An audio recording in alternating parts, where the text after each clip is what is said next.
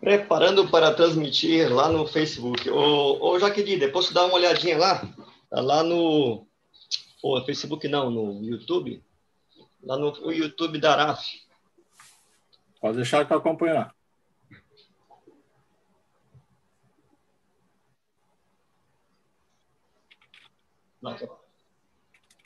Vou dar uma espiada e já te digo alguma coisa. Beleza. Deve estar tá iniciando por lá.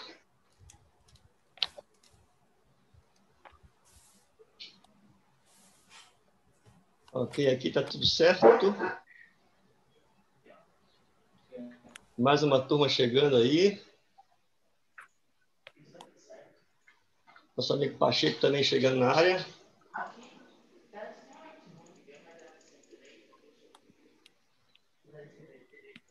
Ok. Vamos lá, Guilherme. Estou abrindo aqui. Eu vou abrir aqui o pessoal. Beleza, né? Eu vou iniciar aqui no Facebook também. Acho que a turma está ouvindo lá. Vou ver se eu escuto meu retorno aqui. E então, acho que estamos ao vivo. Estamos ao vivo no Facebook, estamos ao vivo no YouTube. E é isso. No, no Pessoal, tá mal o áudio. Tudo certo. Tudo tranquilo.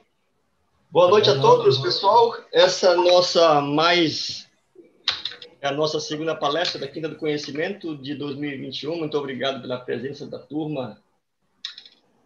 Tem uma turma legal aqui no Facebook com a gente. Hoje, pela primeira vez, nós estamos transmitindo também para o Facebook, para o YouTube, lá no canal da Araf. Então, hoje já com uma, um, já que é novidade, a gente tentar fazer com uma novidade também, tanto para o YouTube. Então, hoje também o assunto é novidade. Beleza, Jaquidi? Tudo certo no YouTube. Fechou. Tá certo? Hoje é o nosso amigo Pelsigo Kilo November Bravo, é o Guilherme, ele vai falar sobre nano VNA. Antes da gente começar, eu já bati um papo para ele, para ele me explicar o que que, como diz na minha região ali, que parada é essa. Tá, Guilherme, vamos lá, vou deixar contigo já para iniciar esse assunto aí, pessoal tá curioso. Beleza. Eu deixo contigo, faça as suas apresentações e vamos ao que interessa. Contigo. Então, então tá. Valeu, obrigado, Aidan, pela, pela palavra. Uh, boa noite a todos. Então, é, meu nome é Guilherme, né? Uh, provavelmente muitos não me conhecem. Não sou muito ativo, assim, de, de grupos e associações, etc., por enquanto, né? Então, e o meu indicativo é Papa Uniforme 5 kg November Bravo. Então, sou radioamador aí desde meados de 2013. Comecei lá como PU3, lá no Rio Grande do Sul. Depois migrei aqui para Florianópolis. Então, hoje a gente vai fazer uma, uma breve introdução inclusive é uma introdução sobre o nono VNA, né? Uma introdução sobre os VNAs em si. E e eu já vou abordar um pouco a, a operação do, do equipamento, alguns detalhes de, de atualização de, de firmware, os detalhes de, de configuração dos traços, salvamento de configurações, enfim, é, é isso que vai ser abordado. É, tudo certo, Dan? Posso seguir? Tudo tranquilo, tudo tranquilo, tudo certo. Pode mandar ver. Então tá. É, primeira primeira pergunta que a gente faz né, na apresentação é o que é um VNA? Já que o nome do, do dispositivo é nano VNA. Então, nano vem de, de muito pequeno, digamos assim, minúsculo, e VNA vem de Vector Network Analyzer. Então, traduzindo aí, literalmente, é um, um analisador de redes vetorial, certo? para que, que serve esse aparelho, né? Então, ele é um instrumento aí para medir parâmetros de componentes e, e associações de componentes, no caso, como se fosse uma rede né, desses componentes, em função da, da RF, da radiofrequência. Então, isso aí é, é um termo que vem muito da engenharia elétrica, né? Então, RF nada mais é do que corrente alternada, né? Então, são termos é, que vêm realmente da, engen da engenharia. É, até eu gostaria de, de colocar que meu, meu, meu background é, profissional ele não tem a ver com, com é, RF, nem com nenhum tipo de dessas coisas. Então, eu não sou da, da área acadêmica, então a, a visão que está sendo vista aqui do VNA é basicamente de um usuário, tá? Então, nunca tive oportunidade de operar um, um VNA em laboratório, nem nada disso. Que tipo de leitura pode ser feita no VNA? Muitos, muitos tipos de leituras, né? É, um dos tipos são é, impedâncias complexas, perdas por inserção, SWR, que é a nossa conhecida ROI, né? É, relação de ondas estacionárias, né? bem, bem antigo isso aí. Né? Comprimento elétrico de, de um cabo, por exemplo, e muitas outras.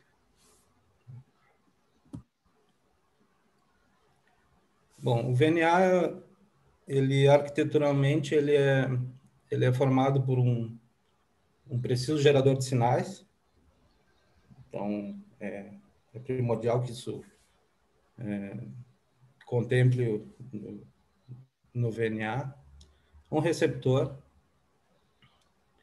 um processador para fazer os cálculos, né? Pode ser um microcontrolador, pode ser um processador já mais avançado, etc e um display de visualização. Então, esse display pode ser uma tela de LCD, pode ser é, uma tela de um computador, por exemplo. Né? Então, isso pode variar nas características. Então, normalmente nos VNAs, a gente encontra duas ou mais portas. Então, o mais comum ainda é o de duas portas, né? Mais corriqueiro, digamos assim. Então, que medem os parâmetros S11, que é como se fosse é, no nosso no, no nosso idioma radioamadorístico seria uma porta de transmissão, né? E a S21 que seria uma porta de recepção, digamos assim. Então, quando a gente faz uma associação de componentes e faz a conexão entre as portas, essa rede de componentes, é, seja lá capacitores, indutores, enfim, uma associação deles, resistores às vezes também, né? Isso leva o nome de DUT, né? Que é o Device Under Test. Traduzindo, seria o dispositivo em teste, digamos assim. Então, essa rede é, composta desses componentes se chama dessa maneira.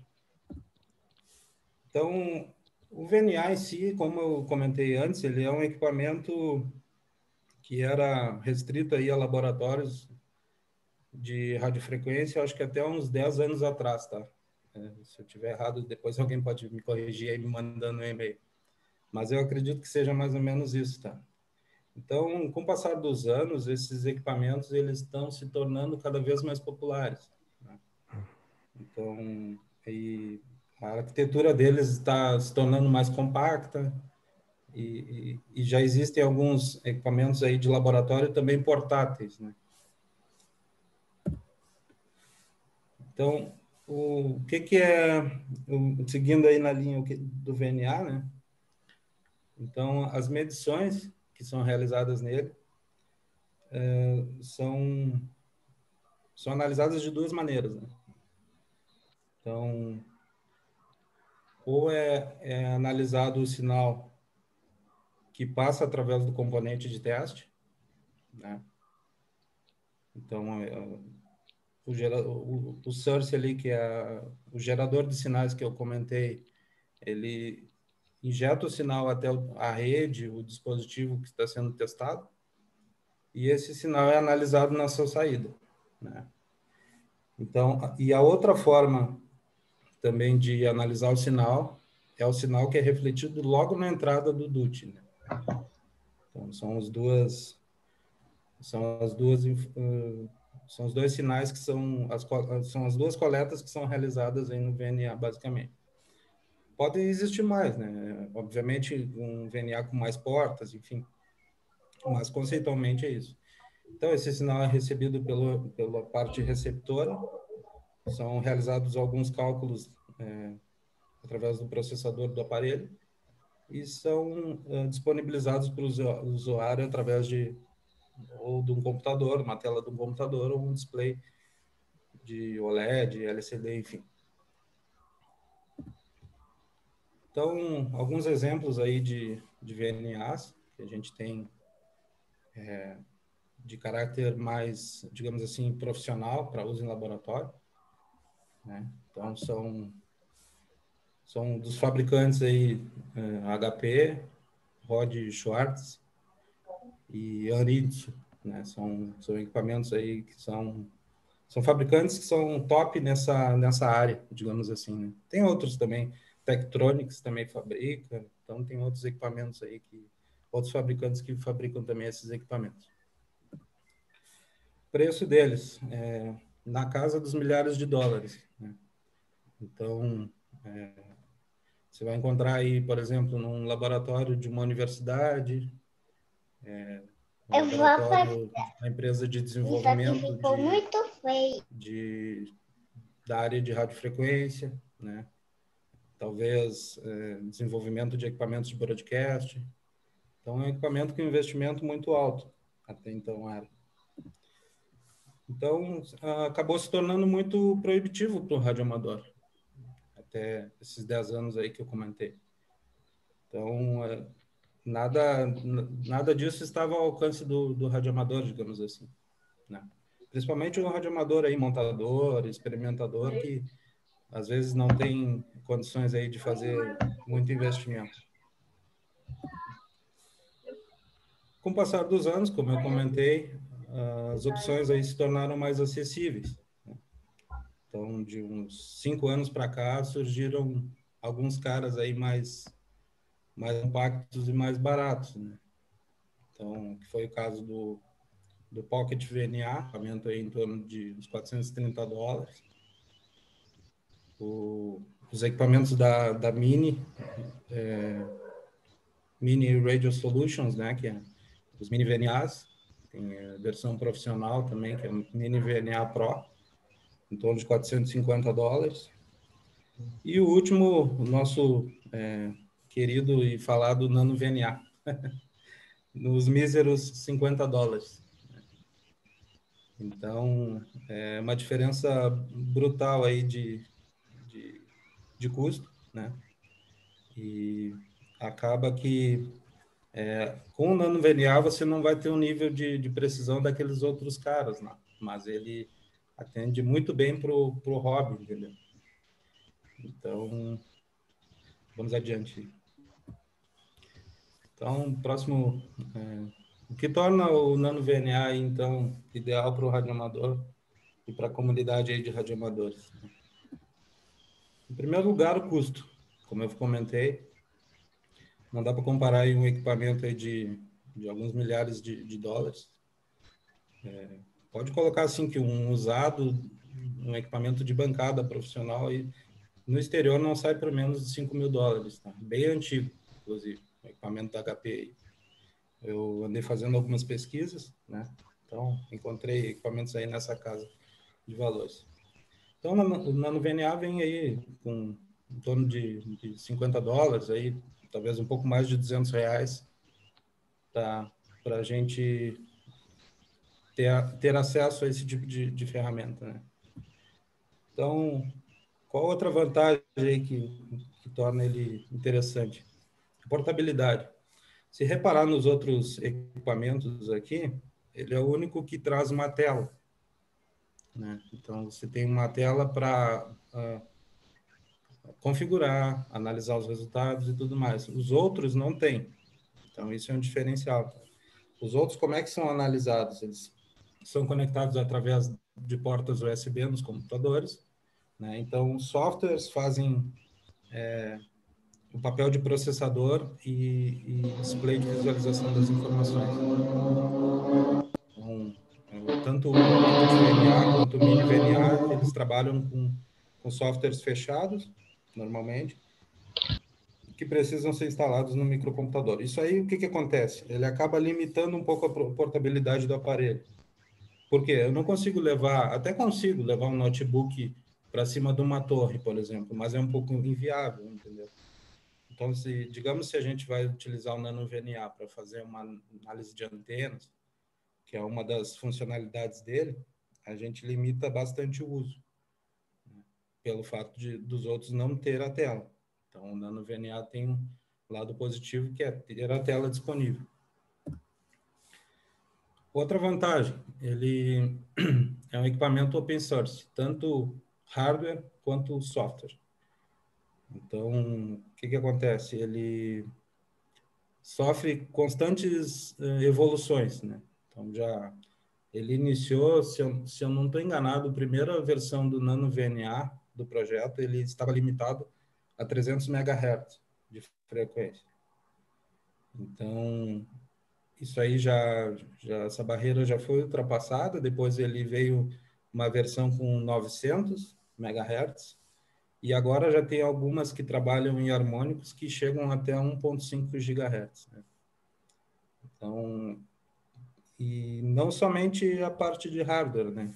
Tem muito a parte de, de programação dele que também é, é, evolui constantemente, digamos assim. É, o que dá para fazer, então, sendo radioamador?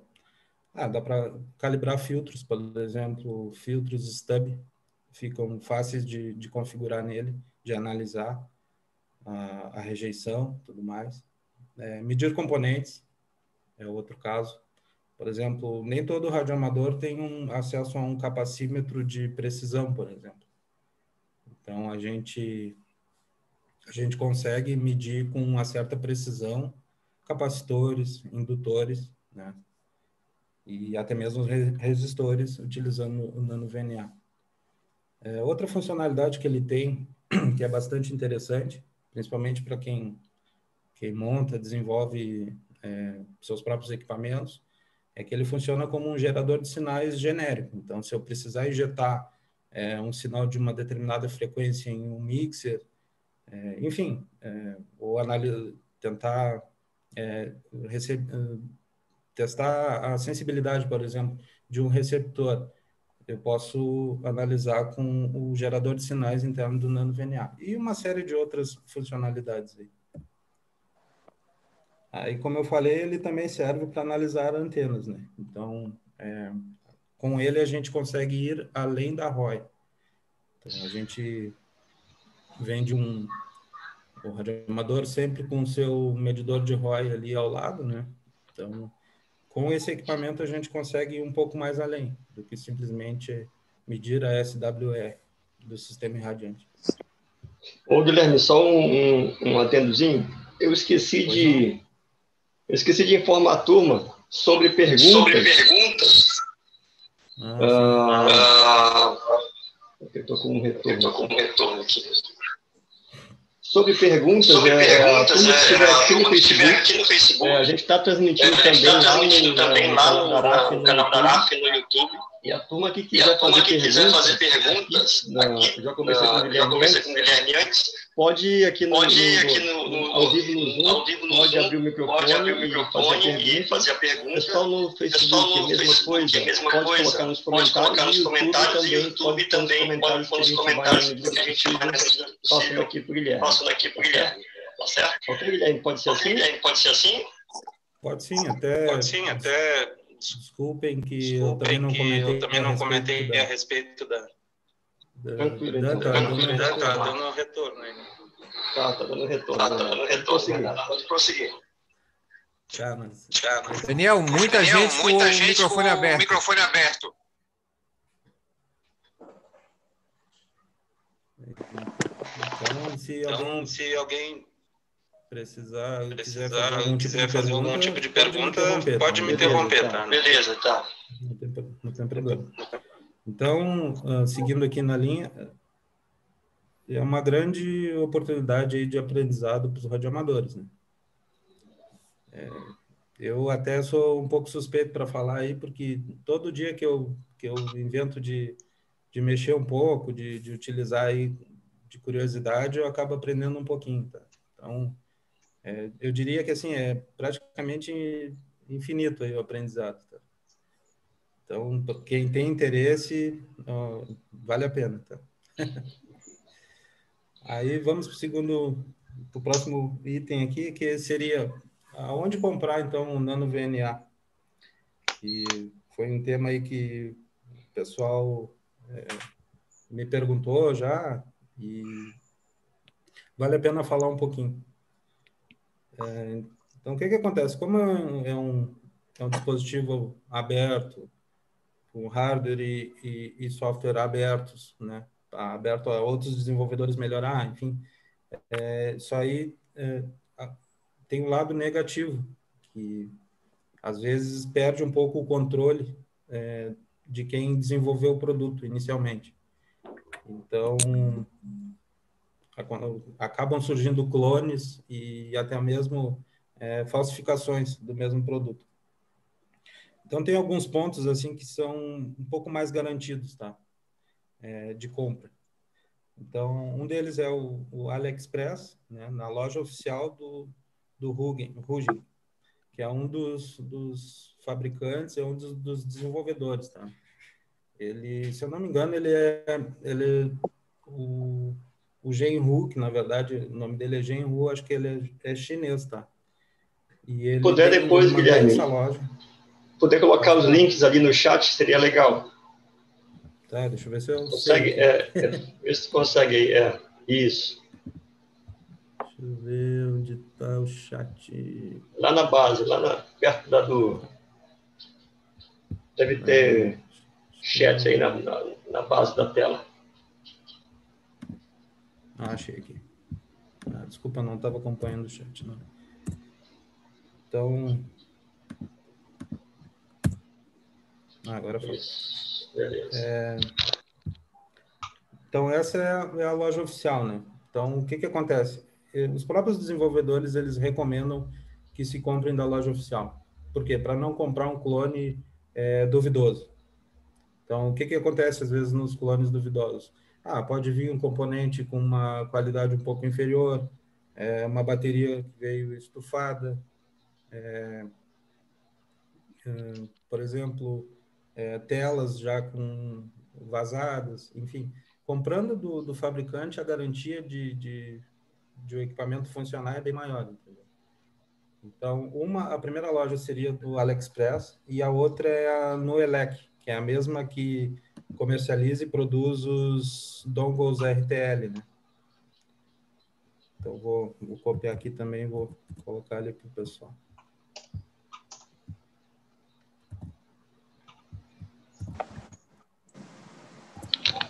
Então, é outra loja de confiança. Opa, desculpa aqui. Tá. É, existem outros vendedores, claro, no AliExpress que vendem. Inclusive, eu, o meu Nano VNA que eu comprei, ele foi comprado totalmente aleatório. Uh, o que que impactou nisso, é, que eu notei assim? É, ele veio sem umas blindagens. Então, quer dizer, por questão de, de custo, de quem produziu o clone, ele optou por retirar as blindagens. E eu não sei até hoje o quanto isso influencia, eu li um pouco a respeito, mas ainda não chegou num, num consenso. Só que eu acabei eu mesmo é, aplicando um, uma blindagem minha própria no equipamento. É, mas não tive ainda muito é, como comparar essa, essa alteração. Outros lugares para comprar, Mercado Livre, que a gente já conhece, vai ter um, um custo um pouco maior, devido ao pessoal que importa, né? A Amazon e outros. Ok? Vamos adiante. Então, uh, vamos entrar na parte de firmwares, né? Agora. Então, firmwares é, são o software do, do, do equipamento, né? uh, software propriamente dito. Ele é ele que é responsável por entregar as funcionalidades aí do aparelho ao usuário. Né? Então, não existe apenas um desenvolvedor, como eu comentei, são diversas é, vertentes do mesmo software original. Então, tem é, diversos é, qualquer um de nós assim que tem interesse em desenvolver o nano VNA, ele pode ir lá e fazer um fork que ele chama, é, e fazendo um fork tu passa a ter todo o software do equipamento para fazer alterações, entendeu? Então surgiram diversos desenvolvedores, diversos é, usuários aplicando outras outras configurações e outras funcionalidades do aparelho. Inclusive haviam firmwares antigamente que não sei como é que está isso, não pesquisei mais, mas que eram específicos, por exemplo, para tornar o aparelho um analisador de antenas, que é uma das funcionalidades. Né? Então ele, ele, se tornava realmente um analisador de antenas puro, apenas isso. Né? E, só que agora eu não sei se esse firmware não foi abandonado. Então, é, outra, é, como eu comentei, ele agrega novas funcionalidades, corrige defeitos, por exemplo, a expansão até 1.5 GHz do Nano, ele só foi possível através de alterações de, de firmware, né? Então, TDR, que é a possibilidade de, de, de medir é, comprimentos elétricos e físicos e vice-versa, também foi outra funcionalidade aplicada através de, de firmware. Né? Então, vale a pena atualizar, não tem por que não, não atualizar. Né? Então, algumas variantes aí do firmware. Tem o EDI 555 é o usuário desenvolvedor original, né? Então ele mantém o repositório dele e acho que é de meados do ano passado, o último release, é, funciona bem. O outro desenvolvedor é o Rugin 79, que é o mesmo que mantém a loja lá do AliExpress. Então, uma característica desse firmware são fontes maiores. Eh, depois, da, não sei se a gente consegue disponibilizar a palestra em si, para o pessoal pegar os links, né? Porque eu acho que, como eu não Isso. sabia que. Isso, depois tu me disponibiliza os links, a gente coloca no comentário lá do, do YouTube. Tá. É, porque o que, que acontece? Acabei que anotei os links aqui, mas não, não me dei por conta que o pessoal pudesse já ir querer acessando, né? Então, no final, a gente, a gente dá um jeito aí de disponibilizar. Então, tem outro que é o One of Eleven, né? Esse, particularmente, é um firmware que é voltado para utilizar o Nano mais na bancada, né? Então, ele desenvolve tanto o firmware quanto um software para você aplicar no computador que converse com o Nano e transforme ele num equipamento muito mais de bancada, né? Então, é, expandindo ainda mais a, o detalhamento das informações e tudo mais. Posso corrigir então, pessoal? Pois não? Tá, eu vou pedir para o pessoal fechar o áudio, uh, somente se for querer fazer perguntas, aí você pode abrir o áudio, mas enquanto isso, vamos tentar deixar fechadinho, beleza? Conseguiram resolver alguma coisa? certo. Então, a recomendação aqui é que, se for ir atrás de firmas, que é uma boa ação, é ler as características de cada firma, firmware dentro do GitHub dos desenvolvedores. Só que o que, que acontece? Nem todos eles documentam realmente o que está alterado. Então, não existe ainda um consenso de qual é a melhor ou pior é, firma. Todos eles são muito semelhantes em funcionalidades, tá? Então, mesmo um firmware mais antigo, para a utilização básica do aparelho vai funcionar. Então, nem na comunidade, nem nos fóruns, enfim, existe um consenso de, de qual é a melhor, qual que todos devem optar. É, realmente é eu diria que é até um pouco bagunçado isso aí. Desculpem o termo. Então, uh, seguindo aí na linha da atualização do firmware, a ideia é que assim, eu sempre se procure firmwares compilados. Uh, o que, que é isso? Normalmente o desenvolvedor ele desenvolve e disponibiliza o código-fonte do firmware, justamente para fazer outras alterações e tudo mais. Só que o processo de tornar o código-fonte um, um código reconhecido pelo NanoVNA, é, às vezes é um processo um pouco trabalhoso. Então, se, se o radioamador aí não tem muita é, cancha, know-how de como compilar software, é preferível que pegue em formatos BIM ou formatos DFU. Tá? BIM de binário já e DFU é formato diffuse, é utilizado pelo processador do NanoVNA. Né? Então, é um, procedimento trivial, é, quase não tem riscos, né?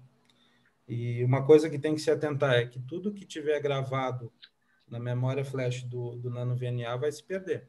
Então, com relação a configurações de memória, por exemplo, é, parametrizações, alterações de, de, de, traço, enfim, coisas que a gente vai ver em seguida, é, são perdidos no momento que é atualizado o firmware. E outra recomendação é que não se desconecte ou desligue o NAND durante o processo de upload do firmware, certo? Então, seguindo é, como seria o processo de atualização, tá? É, isso aí é uma dúvida corriqueira, o pessoal pergunta bastante. É, como é que funciona isso? Então, o Nano VNA, ele vem com uma conexão de USB-C, né, de um lado, e um cabo para você ligar numa USB de qualquer microcomputador. É, então, uma vez conectado ali, é, é possível é, fazer as alterações de firmware e também utilizar é, um software, alguns softwares para ampliar as funcionalidades, para tornar o equipamento como se fosse um equipamento de bancada. Para ir, isso significa o quê? Significa ir além da tela que é que vem com o aparelho, entendeu? Então, é, a tela que vem com o aparelho é um, um tanto limitada em caracteres e tudo mais. Então, você consegue uma precisão muito maior utilizando esse software. Bom, essa mesma porta USB que é utilizada pelo software é utilizada para fazer atualização. Tá? Para fazer atualização, tem que colocar em modo DFU do aparelho.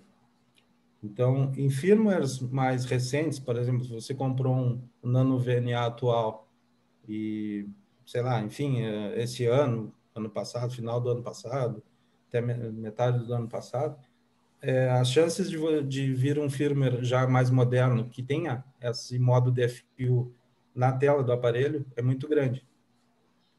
Então você é, basta acessar o menu em configuração DFU e reset enter DFU. Isso vai fazer o equipamento reinicializar e ficar com uma tela branca. Isso é normal, né? Então, a partir daí, seguem os passos de, de atualização direto. Em firmwares mais antigos, não existe essa funcionalidade. Então, você tem que fazer o, o Nano VNA ele entrar em modo DFU eh, por hardware, digamos assim. Então, não existia ainda aquela tela, essa tela aqui que foi mostrada, não existia essa área de configuração em DFU. Né? Então, o que resta era fazer o curto-circuito de dois pinos na placa e ligar o aparelho. O resultado seria o mesmo, né? Então, ele vai ficar numa tela branca e vai ficar aguardando o, a programação via DFU. Então, são dois pinos ali na placa, boot 0 e VDD. Uh, como, como eu comentei anteriormente, existem diversas uh, variações de, de hardware também. Então, em alguns deles, o local dos pinos é um pouco diferente. Então, não dá para se certificar que esse mesmo local que está sendo feito curto na imagem é, vai ser no seu aparelho. Tem que abrir e dar uma olhada na placa e ver os pinos. Então, é boot 0 e VDD. Basta fazer um jumper entre eles, ele vai iniciar o aparelho, né, ligando ele novamente, ele vai entrar em modo DFU e ficar aguardando a programação. Bom, continuação da atualização, né? É, levando em consideração que a gente está no Windows. Então, o Windows, por padrão, ele não traz é, driver libusb para reconhecer a programação. Então, é, a gente tem que fazer uso de uma ferramenta que é velha conhecida de quem é, opera com SDR RTL SDR, que é o ZEIDIG, né? Então, no ZEIDIG, você é, reconhece os dispositivos todos USB que disponíveis no, no computador e tudo que não é reconhecido pelo Windows, então passa a ser eh, visto, visualizado no ZEDIC. Então, o Nano VNA em modo DFU, ele vai aparecer como um STM32 bootloader na lista de dispositivos. Então, basta escolher ele e fazer a instalação do driver. Repara que no ZED, ele já traz o ID da USB. É, esse USB ID a gente vai precisar depois para fazer as programações. Tá? Então, já é um bom, bom local aqui. Então, o identificador do, do, do, nano acaba sendo 0483 ali. Né? Então, continuando a atualização no Windows, é, para fazer a programação em si, é necessário um utilitário, né? que é o DFU útil. Então, isso aí pode ser baixado direto no site do SourceForge, né? Pode ser a última versão, funciona ok, sem problemas. Então, tem duas particularidades, né? É, quando o firmware for no formato binário, tem que executar a linha de comandos abaixo, ali, que é o DFU útil, o menos D 0483, que é o ID do, do dispositivo conectado, e aí tem que passar ali a informação de memória para ele fazer a gravação do binário. Isso aí é no, no command, tá? No prompt de comando, no CMD do Windows. É, não sei se todo mundo é familiarizado com linha de comando do, do Windows, mas é, é ali que é feito, através desse, dessa ferramenta, ok? Então, quando o firmware for no formato DFU, a linha de comandos muda, né? Então, ela vai de 0483 e vai direto passando o arquivo de firmware. Né? Então, repare que firmware.bin e firmware.dfu são os arquivos de firmware que estão gravados, salvos dentro do, do HD do computador. Né? Então, é esses arquivos que a gente quer gravar dentro do, do Nano. Após isso, o que, que acontece? Abre uma tela, é, segue e dá um, um, um status de, de carregando. Né? Então, vai uma barra de tempo ali explicando que está sendo carregado o firmware. Acho que atualmente não é muito é, diferente de outras atualizações aí, de outros dispositivos, por exemplo. Né? Então, no Linux, é, para quem opera com Linux também, é, é, mais simples o processo. Por quê? Porque o driver já está nativo, então a gente não tem uma função de ZAID, né?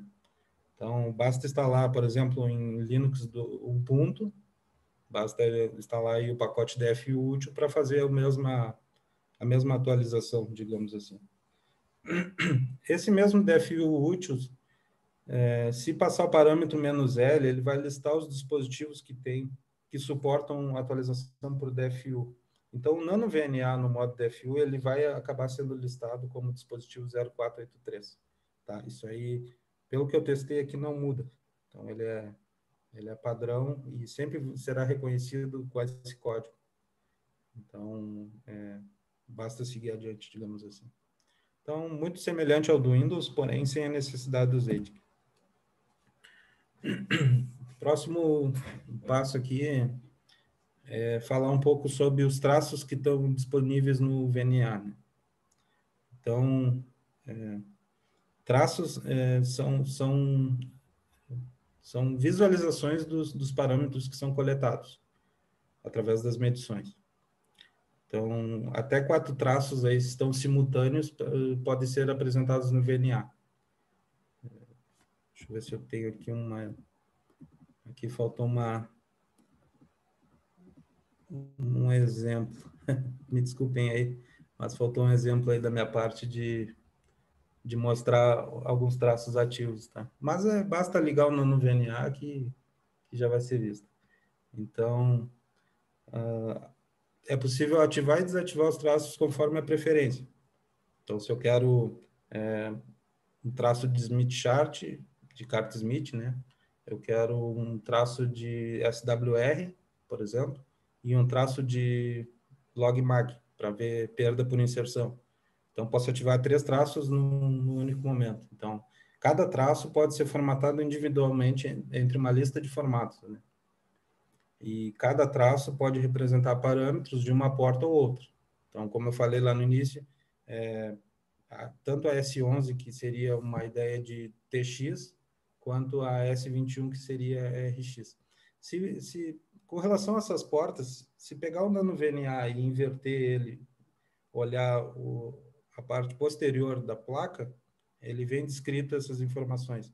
Ele vem que o S11 é o TX e o S21 é o RX. Então, não tem como fazer confusão nisso.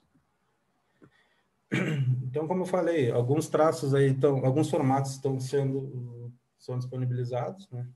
Alguns mais utilizados, digamos assim, que é o logmark, que aí é o, é o seria o logaritmo do valor absoluto medido. Então, é útil em perdas, filtros de banda passante e rejeitante. Então, se você constrói um filtro e faz o, aquela imagem inicial lá de passar o, o sinal gerado pelo VNA através do dispositivo e fazendo a coleta no receptor, lá na ponta do receptor você pode botar um, um log mag para entender se esse filtro for rejeitante para ver o quanto de banda passante que ele deixou passar. E lá na, na outra porta você pode observar que tipo de perda que teve, por exemplo, ou quanto foi rejeitado lá o sinal. Então, outro formato do traço é o Smith, por exemplo, né? então, que é carta Smith, que seria mais utilizado aí para análise de antenas, casamento de pedâncias, redes de acoplamento, né? por exemplo. É, SWR, né? que, é o, que é o Standing Waving Ratio, que seria nada mais do que o, a ROI, né? então a relação de ondas estacionárias, que é mais voltado ainda a antenas. Né? Então, e outros dois interessantes aí que eu, que eu vejo, que né, talvez seja interessante explorar aí para quem, quem, tem interesse em analisar antenas, seria a resistência, que seria a componente resistiva de uma impedância, né, antenas, e a reatância, né, que seria a componente reativa de uma impedância. Mais adiante a gente vai abordar um pouco mais sobre isso.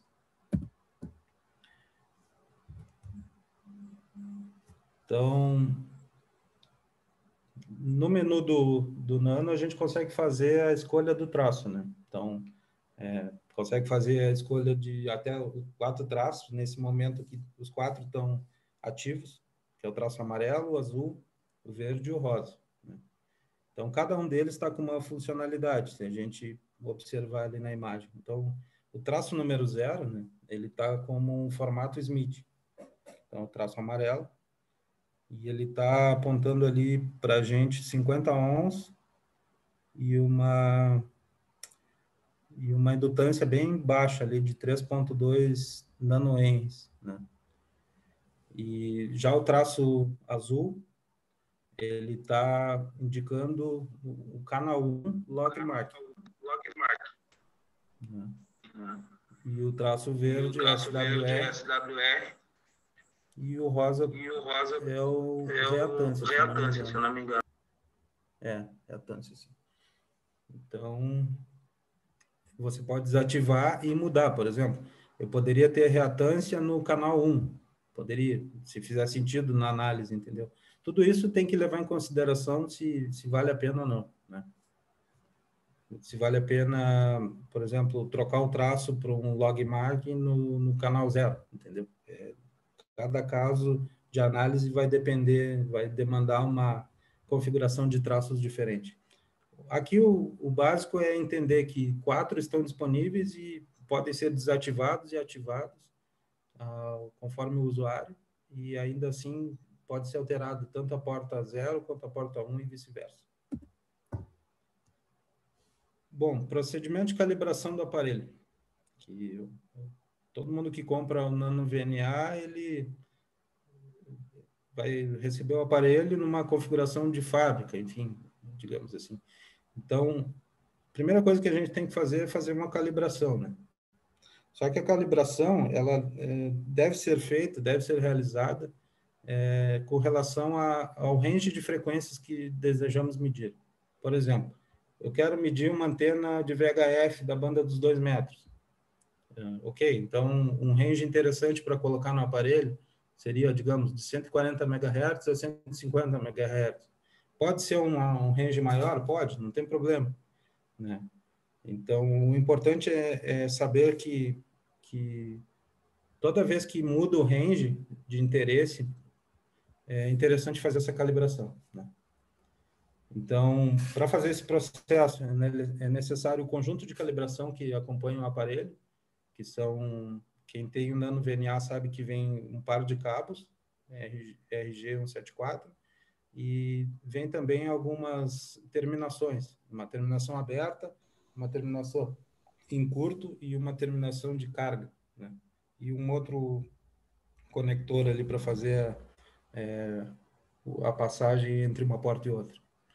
É, então, se for utilizado um cabo coaxial para realizar a calibração, este deverá fazer parte das nas medições posteriormente. Então, se você colocar em uma porta do nano VNA um cabo aí de um metro, por exemplo, é, é possível, ok? E, e realizar essa calibração. Uh, esse cabo de um metro, ele não, não, não passa mais a fazer parte do DUT, por exemplo, né? Que eu falei anteriormente. Então, ele, ele passa a fazer parte do equipamento de medição. É a mesma coisa o cabo que acompanha o nano, é um cabo curto, acho que se não me engano, 30 centímetros. Se realizar a calibração com esse cabo, esse cabo vai fazer parte do aparelho é, sempre que for utilizado esse perfil de calibração, entendeu? Então, é, é isso que tem que ficar claro. Então, como eu comentei, qual, qual seria o procedimento, né? É, com os dois cabos que acompanham aí o equipamento, né? É, conectar um em cada porta. É, seria o primeiro, primeiro passo. Né? E, na, por exemplo, na, na, extremidade do cabo conectado à porta TX, conecte o adaptador fêmea-fêmea. O adaptador fêmea-fêmea, ele possibilita conectar um cabo ao outro ali, fazer circular o sinal, se for necessário. Acho que a imagem está pequena, mas é, dá para ver ali no, que é um SMA, né? Então, esse seria o primeiro passo aí de procedimento de calibração. Então, qual seria o próximo passo no procedimento? Ligar o equipamento, definir um range de frequências de interesse, que eu comentei, e fazer o reset da configuração inicial. Né? Então, é, acessar o menu, call e reset. E outra opção que deve ser desmarcada é o correction, para não influenciar na, na calibração. Então, veja ali que na imagem tem um range é, inicial de 1 MHz e um range final de 30 MHz. Então, essa calibração é, serviria aí para a banda de HF toda, ok? Bom, seguindo o procedimento, é, basta voltar ao menu, acessar o, o submenu Call e o Calibrate. Então, abrindo, após o calibrate, é, são, surgem é, todos esses itens na tela, que é Open, Short, Load, ISO-LN, True e DOM. Né? Então, selecione o Open na sequência da calibração.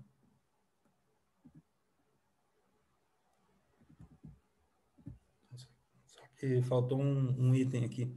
É, o que, que acontece? Para nesse Open, é, é necessário que a terminação aberta esteja já conectada ao cabo. Então, nesse, eh, nesse terminal fêmea ali grifado, ele já tem que estar com o terminal aberto para fazer a medição. Então, conecta o terminal aberto, liga o aparelho, acerta o range, faz os resets, né?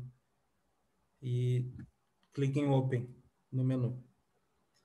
Ah, uma vez clicado em Open, ele vai avançar para o Short, vai ficar esperando uma ação do usuário.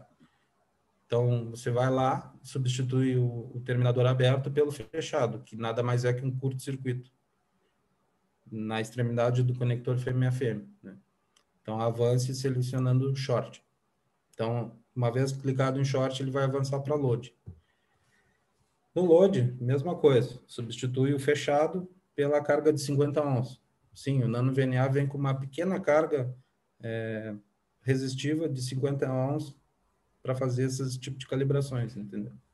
Então, não é algo extremamente preciso, mas atende aí, acho que pelo menos até banda de UHF aí ele deve atender bem, tá? Não, não, não é algo de laboratório, assim, com extrema precisão, mas é uma carga de 50 ohms resistiva aí bem interessante. Então, basta conectar a carga na extremidade e fazer o, o load, né? avançando. O próximo é um pouco diferente, né? Então, para fazer a, a, calibração do ISO LN, essa calibração é, é na porta RX, não mais na TX. Então, é na S21. O, o que, que se recomenda? Apenas fazer a, a substituição de uma porta pela outra. O cabo desconecta de uma e conecta na outra. Então, o RX acaba ficando com a carga. Né? Então, da mesma maneira dos outros, avança selecionando ISO LN. E o último também, é um pouco diferente. É, o que, que é, tem que ser feito né, nesse caso? Remove a carga né, e faz o, o sinal circular entre uma porta e outra. Então, como isso? Ah, tem um, um SMA macho num, num, dos cabos e no outro um, um adaptador que é fêmea fêmea. Então, basta fazer o sinal circular um, um para o outro. Aí basta selecionar true e em seguida done. Aí, nesse caso, está finalizado o processo de calibração. Okay? Esse processo de calibração, ele está volátil na memória, digamos assim. Então, se eu desligar o nano, eu vou acabar perdendo. Então, agora a gente vai ver como faz para salvar isso é, na memória flash, digamos assim, do aparelho, de maneira que a gente não não perda não, não perca isso após uma inicialização do aparelho, certo? Então, é, para salvar essa calibração, é, é, chamado perfil, né? Então, e o que que acontece? O Nano ele tem cinco perfis de configuração que podem ser salvos, certo? Então, qual é a ideia disso? Ah, eu posso ter uma calibração específica para HF, posso ter uma calibração é, específica para VHF, posso ter uma calibração para OHF e assim por diante. Ou uma calibração para analisar capacitores ou indutores, enfim, é, tudo é possível. Né? Então, dentro desses cinco perfis, eu posso é, salvar esse tipo de, de calibração. Então, o que, que acontece? A, a, a posição save zero é, voltando no menu né, do aparelho, menu Call e Save, ele vai abrir as opções de Save 0 até Save 4. Então, tem Save 0, 1, 2, 3 até 4. A, a posição Save 0 é a que inicializa com o aparelho. Então, quando a gente fizer uma calibração e salvar no zero, essa calibração é a que vai ser inicializada com o nano VNA quando o aparelho ligar. Só que uma coisa que tem que ser dita é que é o seguinte, Uh, não somente a calibração ela é salva, né? Ela é salva também todos, todas as configurações de traços do aparelho. Então, se, se eu selecionei apenas dois traços lá para fazer minha medição, fiz a calibração do aparelho, medi o meu, meu, meu DUT, medi minha rede de acoplamento, enfim, e e eu a, aplicar depois a posição save zero, tudo isso vai ficar salvo. Então, quando eu ligar o aparelho da próxima vez, ele vai vir com a calibração e vai vir com os traços que eu defini anteriormente. Certo? Então, é, esses cinco perfis, eu posso carregá-los em qualquer momento de operação do aparelho. Basta ir em menu, recall, né? E, e o recall e o número respectivo. Então, de 0 a 4. Né?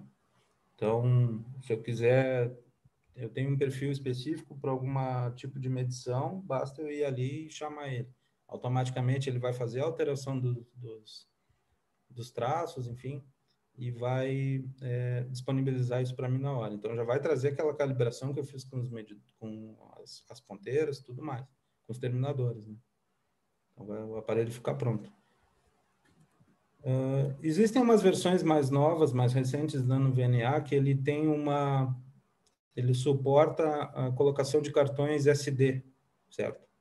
Eu não, ainda não tive a oportunidade de operar nenhum desses equipamentos, nenhum desses Nano VNAs, mas a ideia é que se salve muito mais perfis e, e, do que apenas os cinco. A, a, princípio, eu acho que seria isso.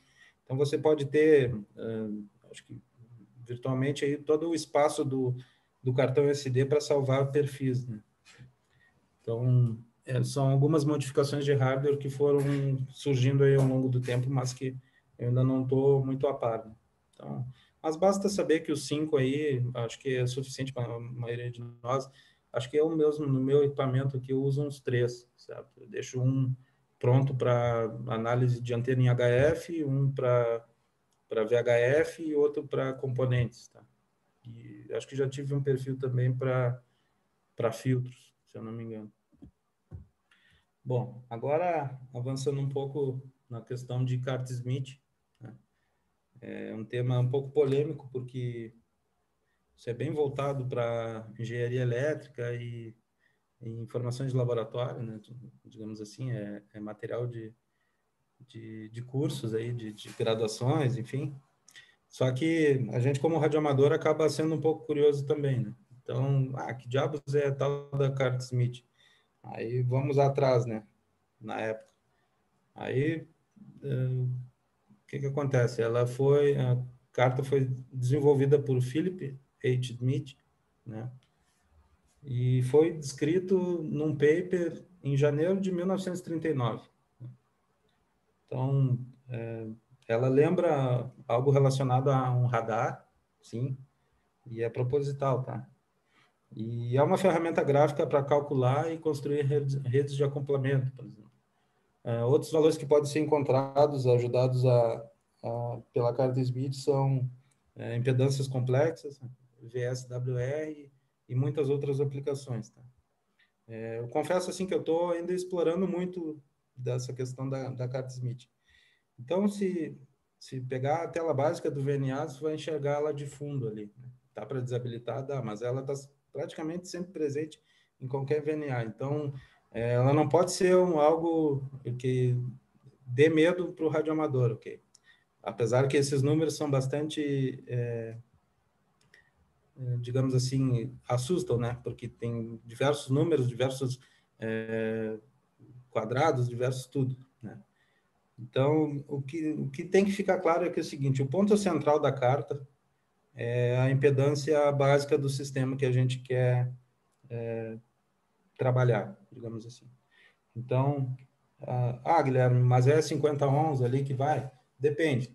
A carta Smith ela é feita com valores normalizados. Então, ela é para ser genérica em termos de, de impedância.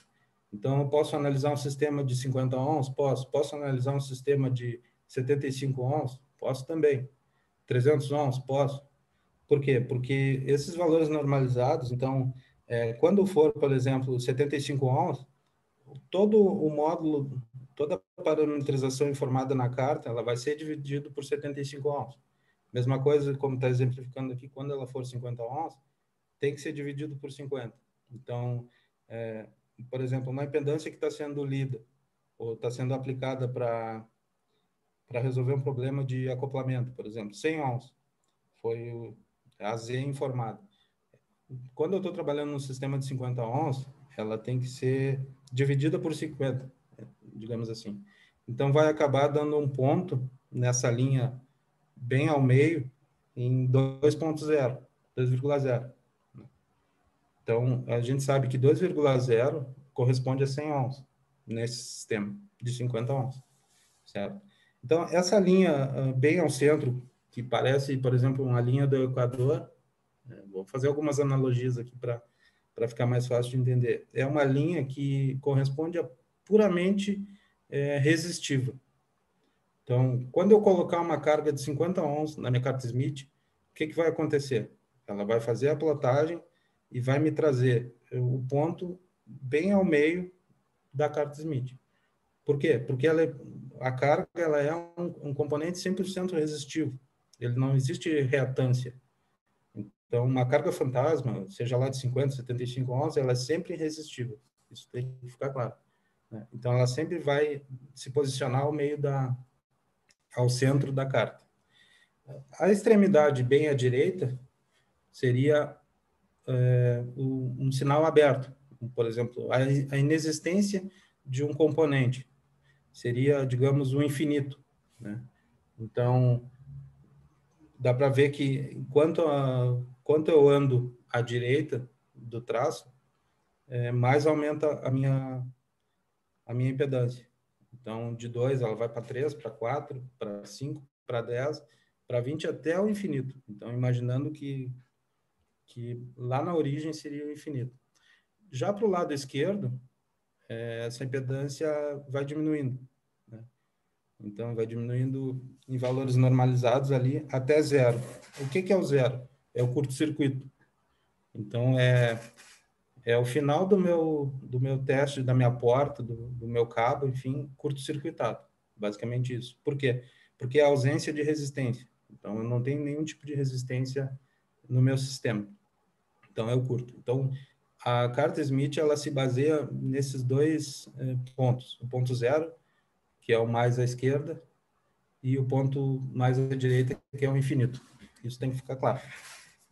É, pessoal, isso é, é, o básico, básico mesmo de, desse sistema de, de análise de, de impedâncias e acoplamento. Tá? Eu não quero entrar muito a fundo, porque é um pouco que eu não, não conheço muito, não detém muito do assunto, mas é matéria muito interessante e, e eu também não quero tornar muito maçante aqui a palestra, apesar que ela já está sendo bastante teórica, certo? Então, o que, que acontece? Como essa linha uh, do Equador, na carta Smith, digamos assim, ela é a linha de puramente resistivo, tudo que fica acima e tudo que fica abaixo tem um propósito. Então, tudo que fica abaixo dessa linha é caracterizado por reatâncias capacitivas. Ok? Então, e tudo que fica acima, reatâncias indutivas. É, é.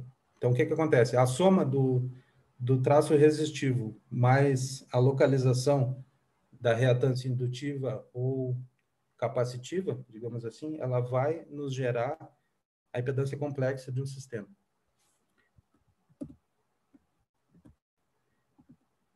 Então, a carta, como eu falei, ela, como eu acabei de comentar, ela tem o horizonte, a parte de cima indutiva, a parte de baixo capacitiva. Então, é, nessa visualização, ela se torna bem mais simples. Por quê? Porque ela já está é, compatibilizada, por exemplo, com valores de 50 ohms.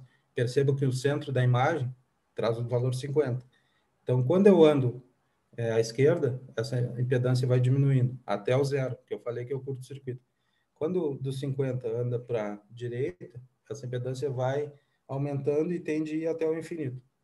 Então, a parte superior da, da carta é, trata reatâncias indutivas e a parte inferior capacitivas. É isso que tem que ficar claro.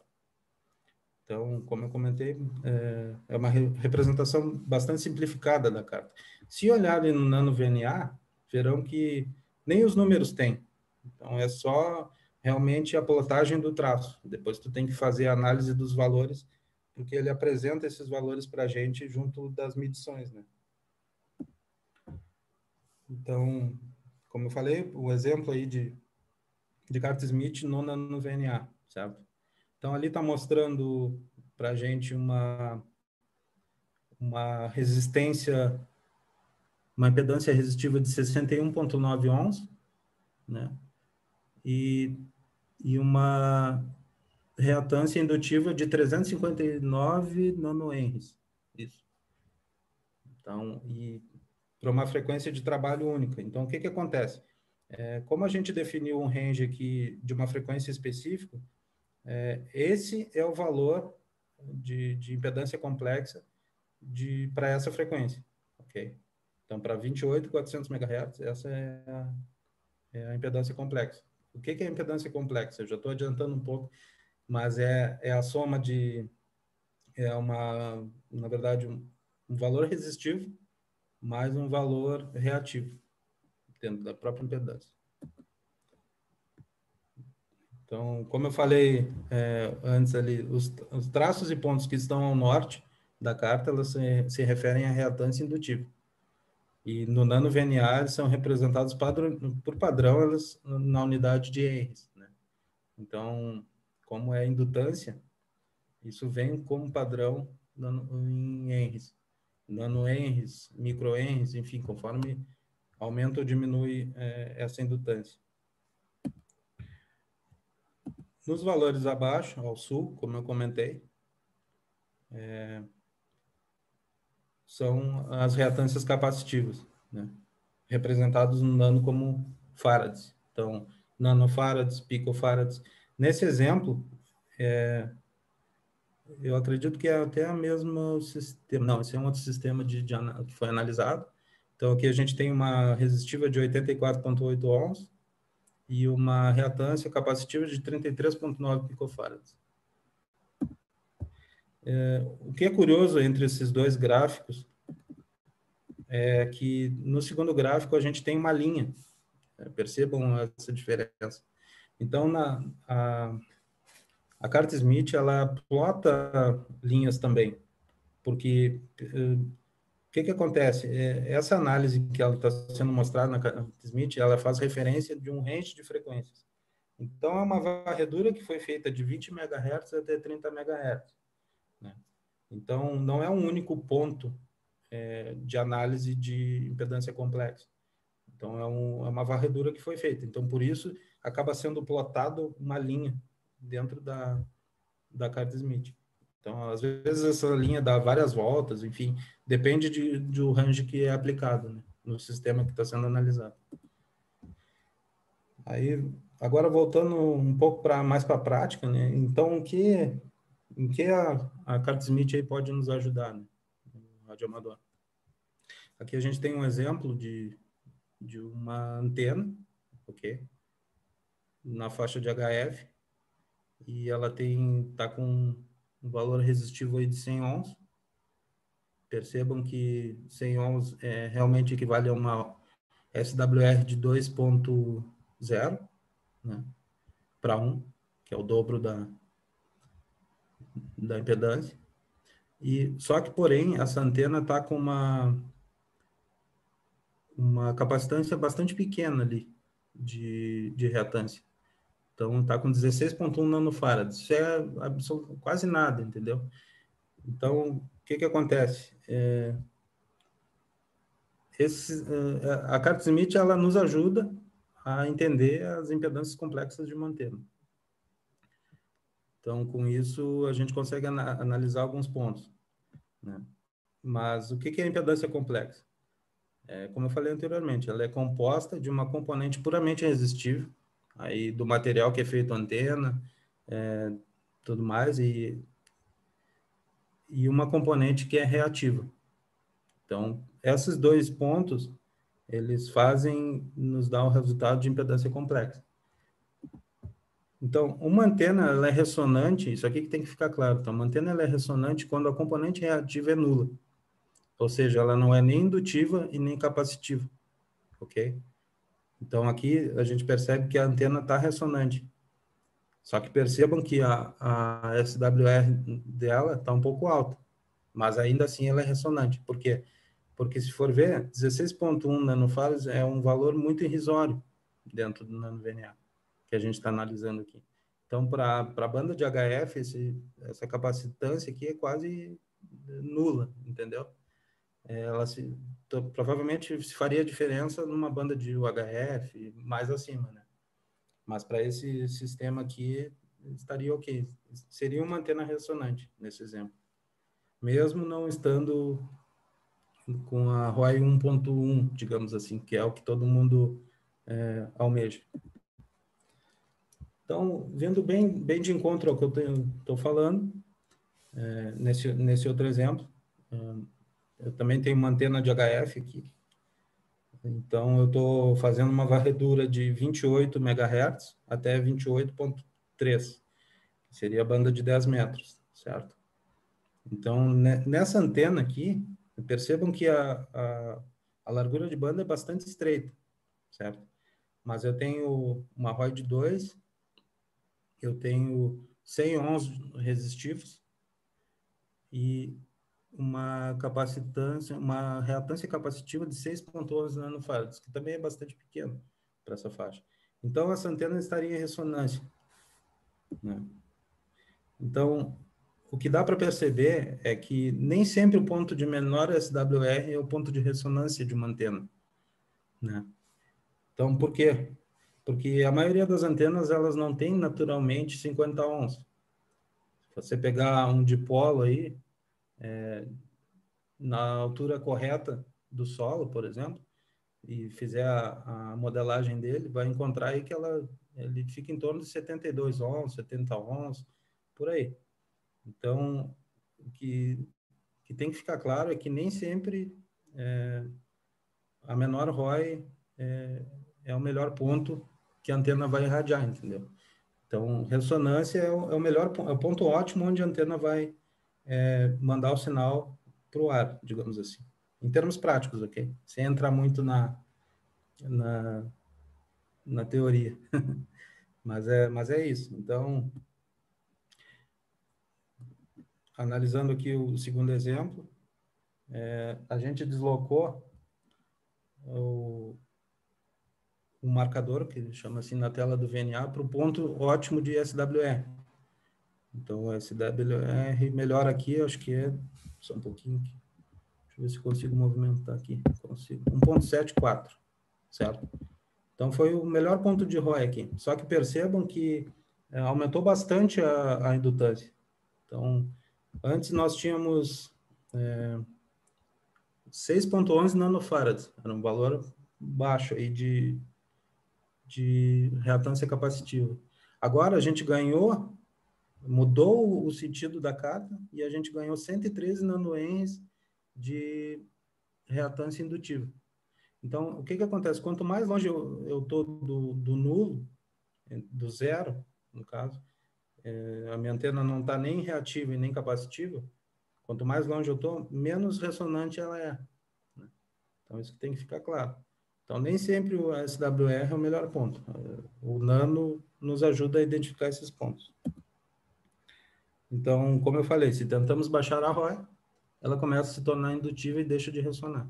Claro, não, não, nesse exemplo não é tão crítico, mas eu digo que independente, dependendo da frequência, isso acaba se tornando crítico muito rápido, e dependendo da característica da antena. Essa antena que está sendo analisada, ela tem uma largura de banda muito baixa.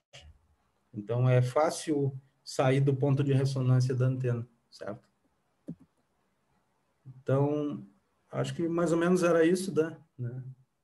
Então, o, talvez ficou um pouco confuso, é, é bastante informação, mas onde buscar mais informações a respeito aí da utilização do Nano, tá? A lista oficial do Nano VNA, no Grupos I.O., né? E o canal de um radioamador do Rio Grande do Sul que manja pra caramba, assim, ele conhece muito, está sempre disposto a ajudar, e ele mantém um, um, canal no WhatsApp e no Telegram, que é o Igor, tá? O Igor Jobim, ele está sempre postando vídeos novos lá no canal dele, está sempre trocando informações com o pessoal. Até não duvido que ele não esteja aí na live, mas ele é um cara assim que é precursor assim do assunto, digamos assim. Então, muita coisa que, que eu aprendi foi buscando nas informações aí que ele gera para gente. Beleza? Beleza. Eu já, já, já vou até colocar aqui um ponto. Eu achei muito interessante falar o seguinte, porque para mim o ápice do, do alinhamento das antenas era o menor ROI possível. Uhum. Se eu uhum. conseguisse colocar, bater um ROI ali de 1.1, a antena estava alinhadinha.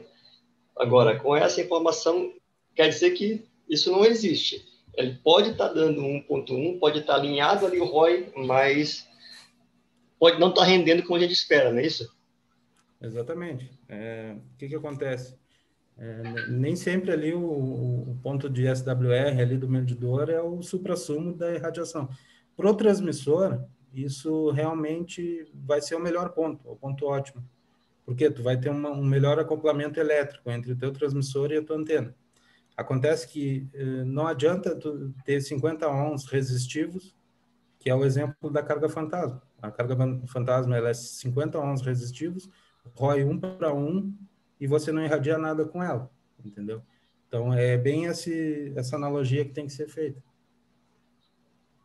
Não sei se ficou. Beleza? Não, não beleza. É, essa, essa é uma informação importante. Eu não, eu não, eu não tinha ideia disso. Mas já, a novidade já é boa para mim por é, conta disso.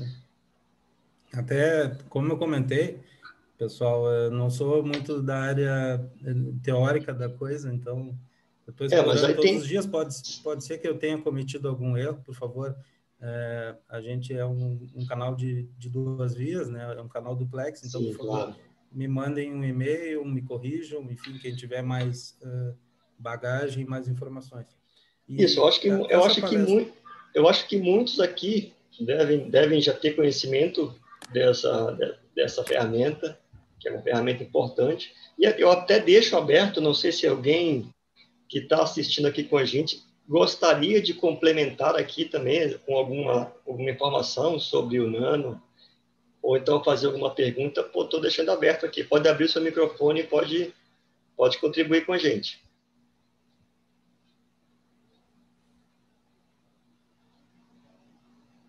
Pacheco, quer, quer falar alguma coisa? Tem aí o Manuel. Manuel Oliveira, pode falar. Olha, sou daqui de Portugal, continental, sou português, Norte de Portugal, ok? Eu gosto muito de construir antenas. Eu antes usava no analisador de antenas daqueles é da MFJ, o clássico. Certo. E quando adquiri isso, muita investigação, ler aqueles gráficos, ainda mais me entusiasmou e realmente também já tinha descoberto a conversar com outras pessoas a melhor antena é uma resistência é. com os 50 ohms é a melhor antena é. mas não sai é, nada não é? é, é mas já reparei nisso que por isso é que os nossos rádios estão equipados com antena tuner para quê? Pronto, uh, a impedância está ali acertada com os 50 ohms e a antena está a ter mais performance Exatamente. Uh, principalmente sim. nas antenas da HF. Sim. Concordas sim. comigo? Concordo, sim. Exatamente. Okay. É, o acoplador é justamente isso, para poder fazer essa equalização sim, da ressonância. Exato. Ok. Mas a, a, a, dúvida é, aquilo, aquilo que falaste há pouco da. Hum, às vezes antenas com mais, com quase 1.6 ou 1.8 estacionários, mas elas estão a ser mais ressonantes. Sim. Isso acontece mais com antenas uh, HF, pelo menos é que eu tenho reparado. É, eu também percebi é, é? mais isso, sim. Eu tenho okay. percebido. VHF não, não, não acontece muito. VU não acontece isso. E em antenas monobanda pouco também. acontece isso. Pouca okay. coisa, Era isso que era essa dúvida, até ficava, será que alguma coisa estou a fazer de errado? É sim, não é? Não, Mas ainda eu, bem que falaram. Eu reparei, eu reparei justamente, por exemplo, numa antena vertical de HF, que ela deveria ter ser bem diferente de 50 ohms, certo? Então, eu acabei analisando que o ponto de ressonância dela é bem diferente de onde eu achava que era o melhor acoplamento okay. com o transmissor. Ok. Então, Obrigado. Acabei, acabei vendo que era em torno de 42 ohms, se não me engano. Okay. Então, isso okay. acaba dando uma ROI é, um pouco maior, uma SWR maior. Obrigado. Continua, ok? okay eu vou para a próxima, obrigado. eu estou cá, ok? Sim, um abraço, continue. Vou passar outro colega. Okay, tá, ok, obrigado, Manel. Já, já, já complementando aqui o que o Manel falou, até a próxima, e realmente vai ter uma segunda parte, viu, Manel? Essa, esse assunto é, é de todos que a gente já fez aqui, é o que realmente vai ter uma segunda parte. Há outras palestras que já passaram por aqui, que está no nosso canal do YouTube, você pode procurar ali em Araf, vai ter algo mais avançado, como DX, como outras, outros tipos de palestras de construção de antena que você gosta, vai ter algo mais avançado, então vai ser legal. Então acompanhe a gente aí. Obrigado pela tua Daniel, participação. Me, per, me, permite um, só um comentário? Pode falar. É, não, essa, é, até essa segunda etapa, e talvez eventualmente uma terceira, é, a ideia é que a gente traga algo mais é, prático, mais dinâmico. Tá? Legal. Eu, eu, peço um pouco de desculpas que essa apresentação foi um pouco maçante, porque é muito relacionado ao, à configuração do equipamento, a atualização, enfim, que são aqueles pontos que a gente trouxe para a palestra. Mas a ideia é que a gente consiga avançar isso aí e tornar um pouco mais dinâmico e talvez até com algumas experiências práticas aí com, com os equipamentos do pessoal. Isso, é. Bom, começamos na teoria, o pessoal já Isso. vai pegar esse vídeo, vai fazer de novo, vai configurar e já vai Isso. trazer as dúvidas aqui no momento da, do modo avançado. Legal. Exatamente. Quem não tem já vai comprando? já vai comprando, Também. exatamente. Quem não tem já vai comprando. Exatamente, Robson. Pessoal, mais alguém quer contribuir aqui com a gente? Pacheco está comendo um pastelzinho ali que ele escondeu, mas eu vi. Quer falar alguma coisa aí, Pacheco? Pipoca bilu, né? Não, eu queria agradecer o nosso palestrante, o Guilherme, porque fui eu quem colocou ele nessa saia justa, tá? Mas é isso. A nova tem uma cabeça muito boa, né? Eles estão em dia com as novas tecnologias. Eles sabem, eles chegam com onda que, ah, eu sou envergonhado, sou isso, sou aquilo. Mas tudo tem namorado, é tudo casado. Para casar não tem vergonha. Então, criar vergonha e repassar conhecimento para todo mundo, tá? Obrigado mesmo ao Guilherme. E estou aguardando aí a próxima etapa. Eu já comprei o meu, mas eu, já passei da idade de, de estudar muito, estou meio malandro. Então, vou esperar fazer tudo mastigado na próxima etapa. Obrigadão. Não, Pacheco, que isso, cara, eu que agradeço a oportunidade de, de conseguir dividir um pouco de conhecimento aí, muitas vezes até um pouco atropelado. Novamente peço desculpas, mas a gente vai aprimorando aí ao longo do tempo, com certeza. E obrigado aí pelo espaço e que a Araf também cede aí para para dividir um pouco de conhecimento entre os radioamadores aí. Isso aí é muito importante. Obrigado ao Dan e também a todos presentes aí. Beleza, Guilherme. Obrigado. A gente agradece bastante aí o, o desafio, né? De ter aceitado a saia justa aí do Pacheco. E, ó, é mandou bem. Não precisa... As tuas desculpas não são aceitas porque não, precis, não precisam de desculpas. Então, foi, foi ah, muito beleza, show de bola. Cara. Todo mundo tá, tá, gostou bastante aí. Então, é, para quem não conhece, para quem... Ah, opa, pode falar. Quem sois? É, Luiz, pelo 5 Lima Tango Índia. Manda, Luiz, pode falar. Uh, Guilherme, uh, não, não, vou, não vou reiterar o que o Pacheco disse aí, mas uh, só um pequeno depoimento. O, não sei se você conhece o Matheus, o Matheus indicou para a gente, deu o Nano VNA, acho que faz um ano e pouco atrás, Sim. e ó, o aparelho é muito bom e pelo custo, eu, olha, acho que em uma semana que ele indicou, eu comprei. Na época o dólar está um pouco mais baixo, foi 185 reais e chegou em 15 dias. Exatamente. Eu achei um custo-benefício excelente e eu, como eu gosto de fazer, então esse tempo todo, uh, o pessoal sabe de vez em quando eu estou tirando leite de pedra e agora vocês sabem por quê? Porque o negócio faz milagre, né? É verdade. E eu tenho é, eu tenho facilidade que eu tenho um pouquinho da área de eletrônica e também da área de informática. Então sei que para mim fica um pouco mais fácil de usar ele, né? Sim. Ah, e a tua palestra, achei, assim, como eu já tinha conhecimento, para mim foi tranquilo, digamos, foi um reforço, né? Como eu já tenho ele, já estou usando direto. Uhum. E, e, até foi interessante essa questão da do análise de tipo de capacitor, de componentes. E recentemente, eu, eu não fiz ainda, mas eu vi a questão da medição do, dos cabos, do comprimento, né? E tu Sim. comentou aí, né? O comprimento elétrico. Exatamente. Então, eu, olha, em seguida eu vou fazer isso no meu, porque o, o meu, o que, que eu fiz? Eu salvei as cinco, eu salvei a, por faixas. Eu uso basicamente como um analisador de antenas, né? Sim. Eu tenho ali a curva de Smith, ROI, logmag e a fase, né? Eu Sim, tenho os quatro traços. Então, eu uso a 0 a 30, 30 a 200, 200 a, a 500, 500 a, a 900. Então já, tá, já tenho salvo essas aí. O HF eu não uso, mas eu uso HF e VHF. Então uso basicamente a 1 e a 2. Né? Claro. E a 0 ela fica a faixa inteira. Né? Isso, normalmente deixa a faixa inteira para ficar mais genérico.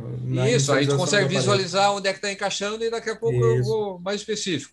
Mas, uh, e para o pessoal ter uma ideia, tu falou que uh, não é muito preciso, tá? eu acho o contrário, tá? eu acho que ele é bem preciso. Não, é que o comentário é justamente frente aos equipamentos lá de ah, laboratório. Ah, sim, sim, com certeza. E, mas é muito preciso para os nossos trabalhos. Né? Sim, é para o pessoal. É, só o exemplo prático para finalizar, eu fiz um acopladorzinho caseiro, eu numa antena de 10 metros, uso o acoplador para FT8, aí jogo Sim. ele lá para baixo. Calibrei ele pelo nano NVNA.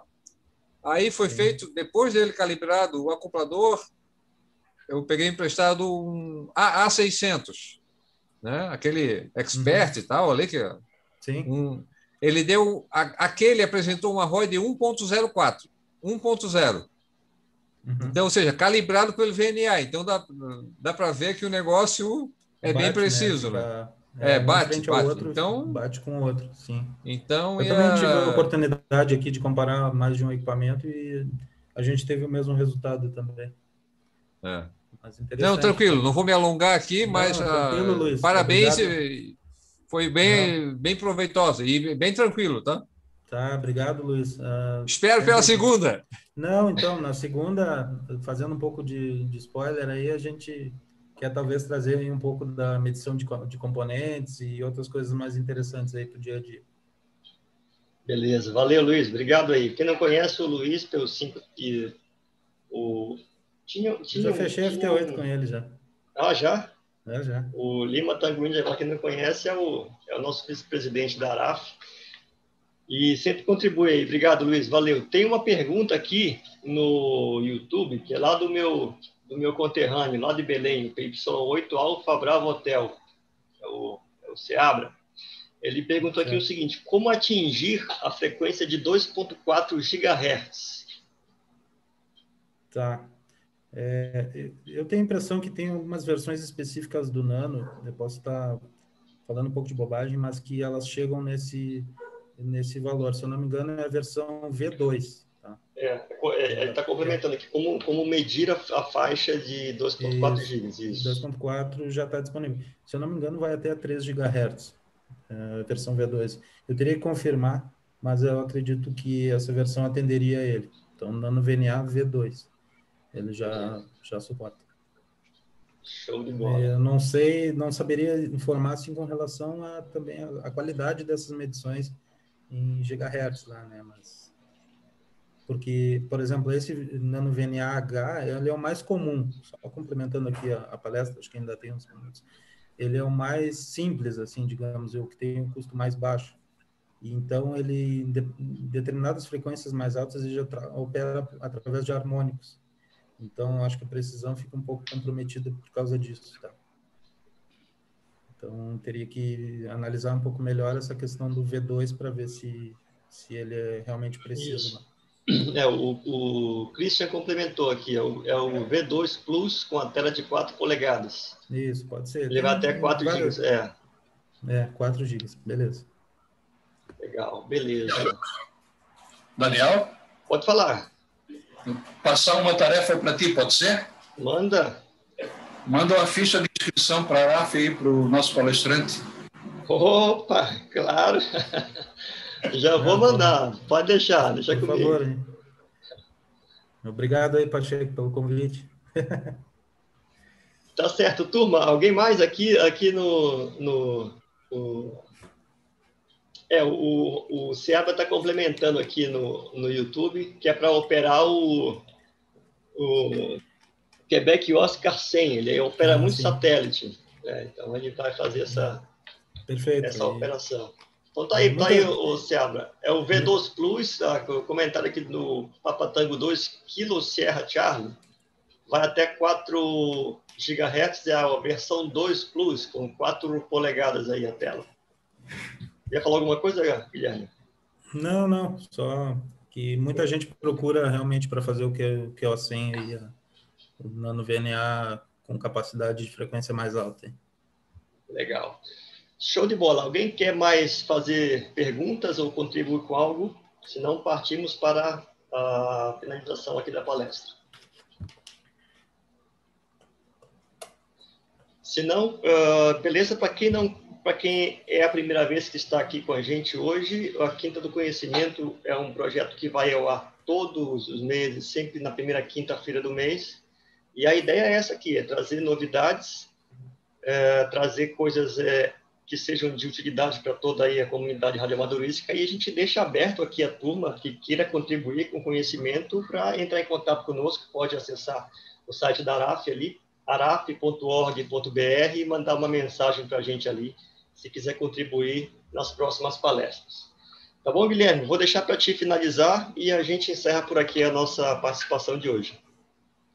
Não, ok, é mais agradecer então o espaço e espero aí sempre que puder estar contribuindo um pouco mais aí com, com esses assuntos e outros aí que a gente vai aprendendo no dia a dia e, todo, se todo mundo compartilhar um pouco, to, todos aprendem, né? É só ganho. Então acaba sendo uma relação ganha-ganha. Então, acho o espaço fantástico e incentivo a outros colegas aí que ainda não fizeram. É, acho que vale a pena é, se sentir abrigado aí pela ARAF para poder compartilhar as informações. Beleza?